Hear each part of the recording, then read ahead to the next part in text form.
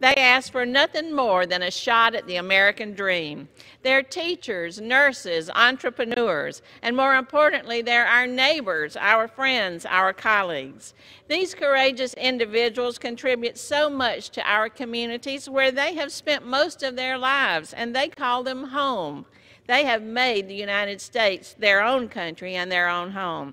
Yet over the last two years, the Trump administration has attacked Dreamers and TPS holders by rolling back immigration protections and tearing families apart. That has got to stop. By passing the Dream and Promise Act, this House is going to be standing up to that hateful anti-immigration policies that have come to define the Trump administration. The symbol of the United States must always remain the Statue of Liberty. We should be putting out a welcoming mat, not building a wall.